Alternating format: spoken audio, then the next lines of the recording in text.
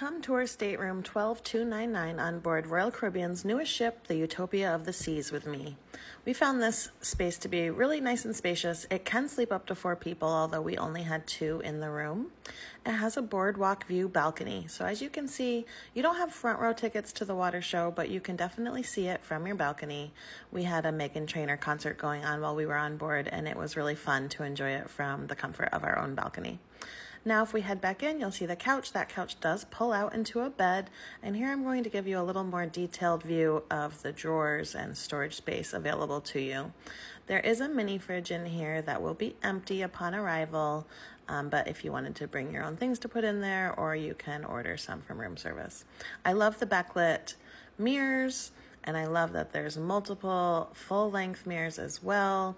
And then we've got a lot of hanging space here in this closet. If you do decide to have the beds separated, then the little um, end table there will slide into the middle of the beds, but it's very similarly situated. Again, a ton of storage on each side of the bed.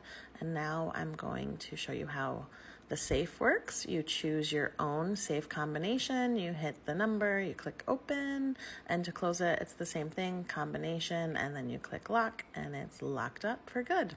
I love that that's provided for us. Now we're going to go into the bathroom. This is a pretty standard bathroom for a balcony or an inside room, nice standing shower. I love that it's a door and not a shower curtain big, nice mirror space, lots of open shelving. And if you did have a connecting room, this is where it would open.